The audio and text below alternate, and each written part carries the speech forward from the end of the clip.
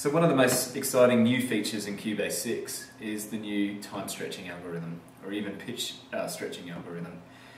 Um, it sounds better than anything I've ever heard before, but uh, I guess the only way to uh, to portray that is for you to be the judge. So I've got this track up here. Now the first thing I've done in this track was added a tempo track. So as soon as we add a tempo track, we can actually automate the tempo in, in Cubase from our project window. There's a few different ways we can do that. We can jump from tempo to tempo. So if say you want to maybe brighten up a chorus and just add a couple of beats per minute, one beat per minute in there, you can do that. But let's say you record the band and you want to actually slow the band down at the end. You can even just draw in a ramp. So from fast or from your normal pitch down to the lower pitch.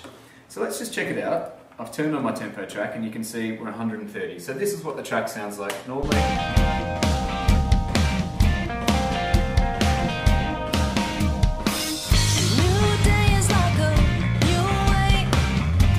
A normal track that we've got recorded there. Now what I can now do is go into my pool window. So in my pool window, you can see all of my tracks there. So I'm going to select all, and I'm going to make sure they're all in music mode. So not linear, so I'm just going to select music mode, and then you can see Elastic Pro. So this is basically the new algorithm. So there's a few things that I can do here. I can protect my time, or I can protect pitch. So let's start with time. So basically, it's going to focus on preserving the time uh, or the exact timing in our song. So I'm going to be fairly dramatic here because uh, you know a lot of people claim to have time stretching algorithms, um, but you'll never see them drop them down over a uh, dramatic, I guess a dramatic drop. So you can see here I've got 130 and I'm going to drop it all the way down to my point here, which is uh, 50 beats per minute. So I think it's during the guitar solo. Let's hit play and just and, and have a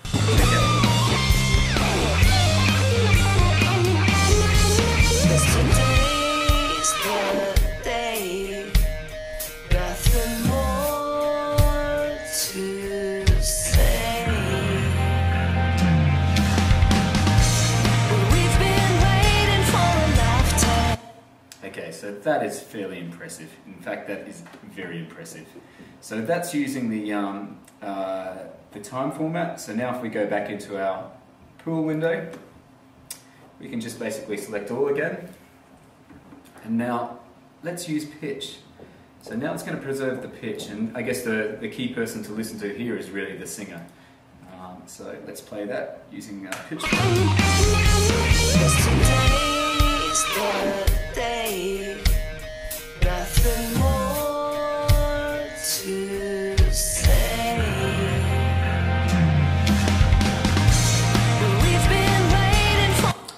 So that's fairly impressive as well.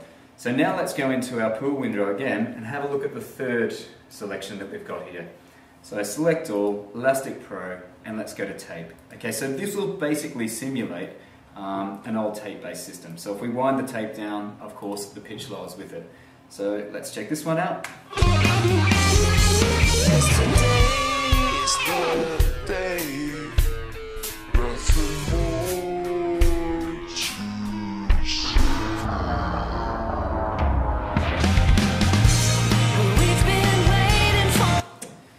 So quite impressive there. You can see I've put quite a dramatic slant on that, but if you want to drop that over, say, one bar, you get quite a neat effect. In fact, you get, I guess, we'd be simulating an old uh, tape-based machine.